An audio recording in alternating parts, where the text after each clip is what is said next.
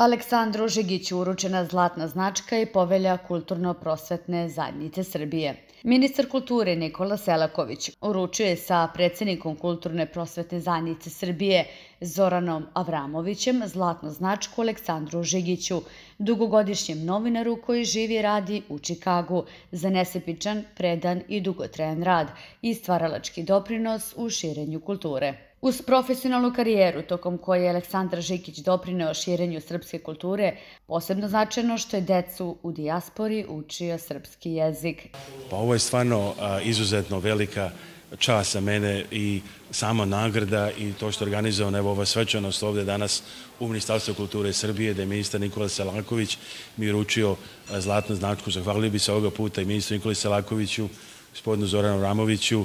predsjedniku KPZ, gospodinu Žiro Žiki Ajdećiću, generalnom sekretaru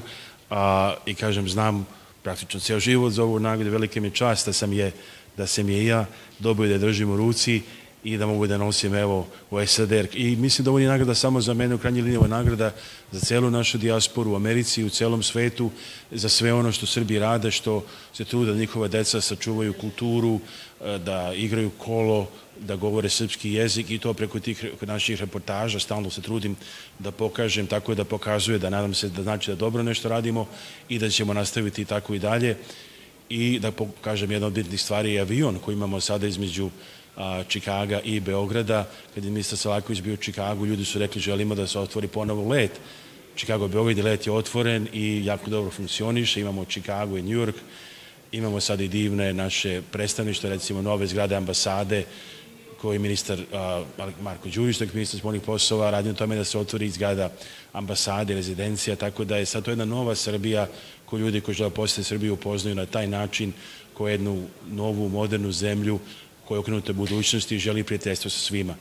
Generalni sekretar Kulturno-prosvetne zajednice Srbije Živorad Ajdečić podsjetio da Ministarstvo kulture od početka podržava uručenje priznanja i ukazao da su među ranim dobitnicima istaknuti umetnici, stvaraoci i kulturni poslenici svih krajeva Srbije, Republike Srpske, Crne Gore, a pre svega iz dijaspore. Otišao pre svega u dijasporu i u Čikagu je postigao velike uspehe u Americi sa mnogim listovima od CNN, od drugih listova koje je on pratio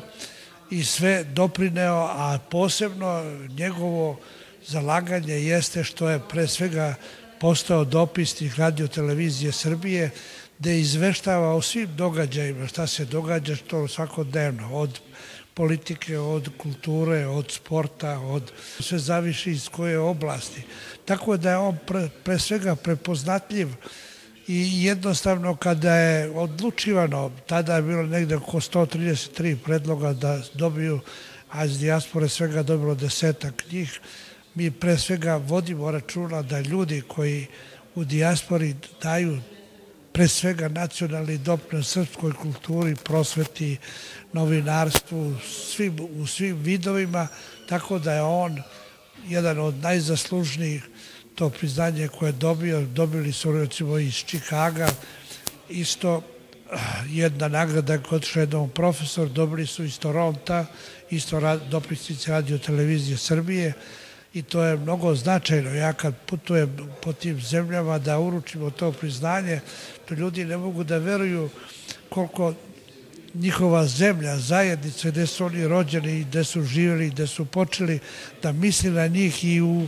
tim vremenima kad su van zemlje, ali doprinose. Dobitnik priznanja Žegić je zahvalio ministru kulture, predsedniku i generalnom sekretaru Kulturno-prosvetne zadnjice Srbije Zoranu Avramoviću i Živoradu Ajdačiću za priznanje koje, kako je ukazao, nije ni sanjao da će dobiti, iako je za zlatnu značku znao još kao dete.